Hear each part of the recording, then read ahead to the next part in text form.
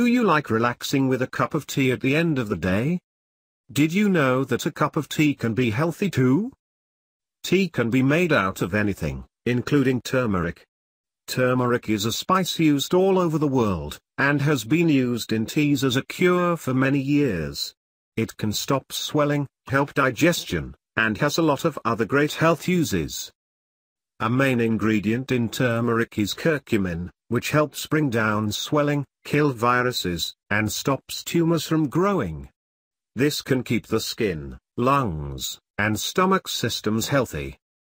Turmeric can help with these things. Keep the immune system strong. Make sure the blood and liver work properly. Help with digestion. Help cure skin diseases like eczema, shingles, and allergies. Lessen pain from arthritis.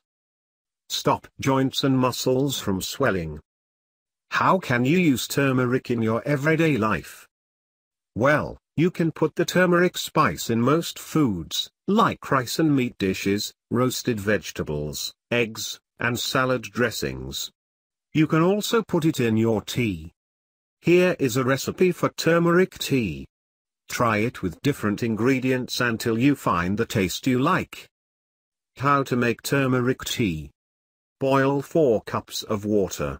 Add 1 teaspoon of ground turmeric and keep on a low flame for 10 minutes. Strain the tea into a cup with a fine sieve, and add honey or lemon juice for taste. You may like to add a teaspoon of ginger to the tea.